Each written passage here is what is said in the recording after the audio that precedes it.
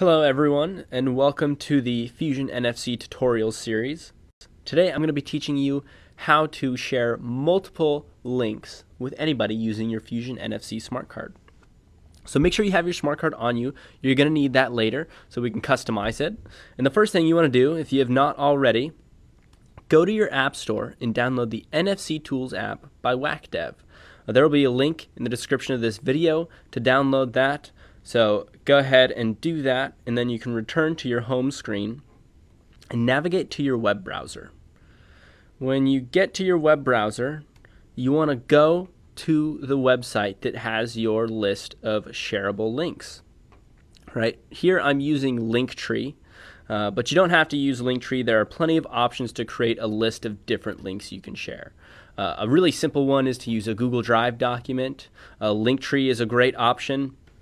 Uh, another one of our favorites at Fusion NFC is a Carrd.co, C A R R D.co, and we will link that in the description for you, uh, along with some of our other favorite ways to share a list of links. Once you create your page using one of those methods, you will have a shareable link that you can program to your card.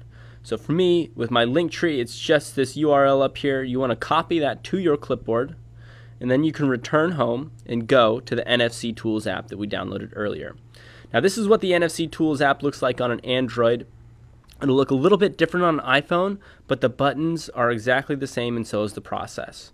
So to get started, click on the write button and then click Add a Record.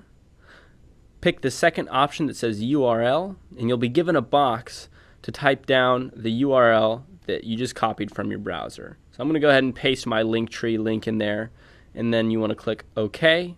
It'll take you back to this menu, but there's a new write button down here. Go ahead and click that, and you'll be prompted to approach an NFC tag.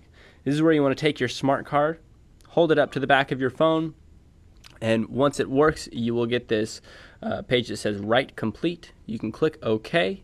And if you turn back to your home screen, you can tap that card to your phone again, and it should bring up your list of links.